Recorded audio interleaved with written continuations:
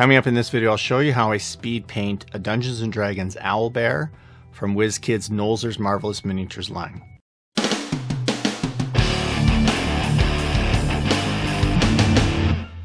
Welcome back to Mini Junkie, everyone. My name is Jarrett.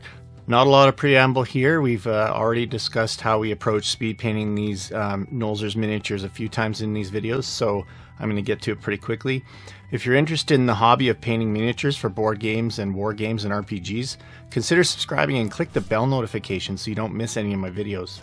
The only note I want to make on this guy is he's purple, and I think that's okay. I based that on the picture in the monster manual for 5th edition. I'll put it up here. Uh, I've been told maybe that's just some highlighting, gray purple highlighting on a on a black or brown owlbear. I have seen at least one other guy on YouTube paint it purple though, so I'm not crazy. But if you don't want a purple owlbear, you can also substitute in brown ink or sepia ink. Even it would be it would be a fairly dark one, um, even black. But you could follow these techniques uh, with different colored inks and still get similar results. I would say. All right, let's go paint that owlbear. Here's a look at the finished miniature we're painting today. He's bent over fairly far, so it's a little tricky to get a good shot of him, but hopefully you can make out uh, all the areas that are going to be purple and not purple. The Nolzur's miniature primer is uh, a little bit of a gray white, so by dry brushing with a brighter white over a lot of the highlighted areas, so all the upper surfaces and a lot of that fur texture, uh, that's going to shine through as highlights when we apply the ink glaze slash wash. Straight out of the bottle, we're going to use Seraphim Sepia around the face area and also the upper chest in my case, and you can consider that an optional uh, area for yourself. Now, this is done to create some shading for what is going to be fairly bright, almost white feathering uh, on the face of the owlbear. Basically, he's going to be a big purple blob, and so we want his face to really stand out. The face is the focal point of the miniature, and then we want the purple to look nice, and then that's the combination of both is going to make it look really good.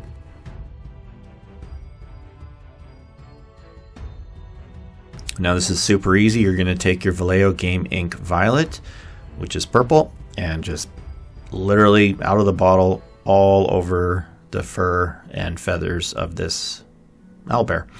You can choose to do different tones around, let's say, the feathers of his, I guess, wings slash arms if you wanted to you know, try different colors, you could absolutely do that. This just shows you how the ink is going to behave uh, on this heavily textured surface. It's really going to shade the texture, but also leave, uh, partly thanks to our, our white dry brush that we did, it's going to leave a lot of the raised areas of the texture a lighter color to create some natural highlights, which is great. But again, if you wanted a green owlbear, doing this with green would look just as good, but it would be green. So that's maybe more of a shambling mound thing. And here you can see I take a smaller brush and be a little more precise just on the top of the head so you don't get it on his gigantic eyebrows.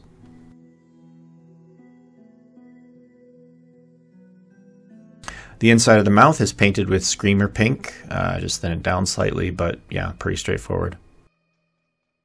Now I'm going to give the beak and eyes a glaze with yellow ink.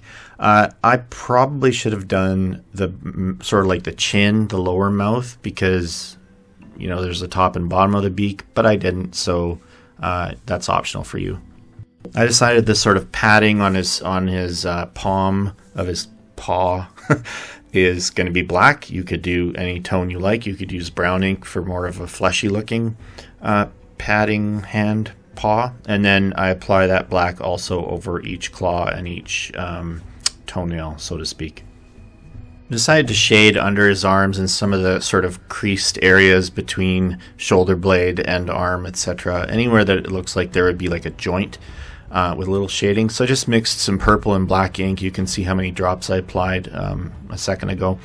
And I just take my brush and apply that fairly uh, freely and, and um, carelessly onto anywhere that there's um, a crease created by his pose. The inside of the mouth is washed with straight Carroburg Crimson from GW. You can't tell from the bottle I hit with primer by accident, but this is Fuegan Orange. I use this as a straight glaze uh, over the beak because I want it to be kind of an orange beak with yellow highlights showing through, and that's what the Fuegan Orange is going to allow. And again, do it on the bottom of his mouth if you want to do it that way. So rather than jump right to pure white, we're going to start with GW Pallid Flesh. I've got uh, airbrush mix, so it's pre-thinned. You want to thin yours down with a bit of air, uh, thinner or even water is usually fine. I'm just using a, a, fairly, you know, small brush. This is a um, number zero, I believe, or zero zero from Redgrass Games, and I'm just applying highlights to the edges and ends of each of the feathers around his cheek and eye area. Just take your time, be careful. I got kind of messy with this, and you'll see that I'm going to try to fix that up later.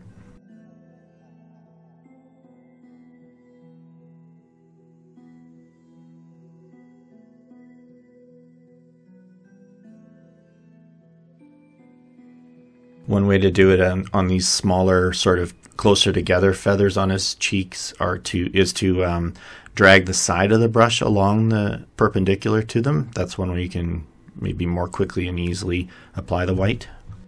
Now to highlight, I just drop a blob of white into that pallid uh, flesh mix, and you can see it here. Um, being pretty imprecise with the ratios, I just drop some white in to lighten it. I'm going to apply those highlights over the same areas, but just covering a bit less of the feather and more towards the ends of the feathers. Now I don't do it here, but you could definitely do a third highlight of just pure white, and that would really make the face pop. Uh, I don't know why I didn't do it, but that's an option. I was finding the shading we did with the violet and black a little harsh, so I took some straight uh, violet ink and just kind of sort of blotched it around that shade line uh, just to help it blend into the purple around it. Um, somewhat optional step here, but it just I found that those lines were a little stark, and I was trying to create a little bit more of a blur or softness between them and the original purple we did. Now I'd gotten a little messy with the highlighting of the feathers and gotten some of the white and pallid flesh into the like the creases between the feathers, which I didn't want. I wanted to bring out a little more of that definition. So I thinned down some Seraphim Sepia, which was the original wash we used, and I do that with Lahmian Medium. You see here how I added some to a palette well, and I'm adding some um, Seraphim Sepia to that. Again, pretty imprecise, just trying to thin down that Seraphim Sepia, and then I just apply it over the area that I thought I had kind of gotten a little sloppy. And then I kind of brush that off a little bit with my fingertip just to help uh, make sure that the brightness of the highlight is still showing.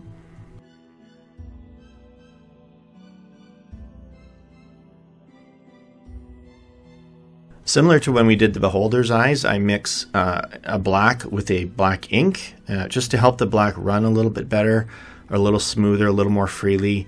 Uh, it really helps with trying to do this precise work on the eyeball. And I'm filling in a fairly large, um, I guess it's an iris slash pupil here, and leaving some of the yellow showing around the outer rim of the eye, kind of like an owl would have if it, I don't know, if its pupil was greatly dilated. And painting them so that not really cross-eyed, right, but looking upward at the enemy, like as if he's looking up from under his eyebrows. So there, that's why I've kind of got those um, pupils pushed up sort of diagonally on the inside. Uh, so be careful there. Don't make him. You don't want him staring into space. You want him to look like he's looking right where his beak is pointing.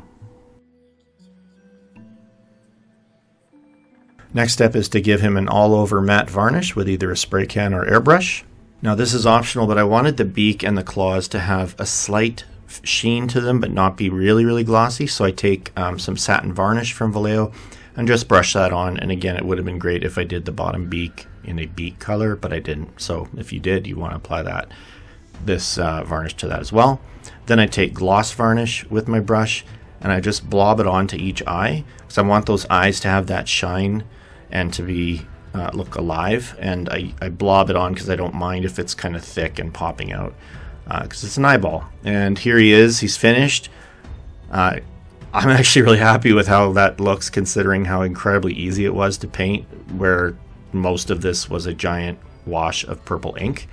Um, it goes on really interestingly because it tints the area heavily but still creates those deep shadows as well.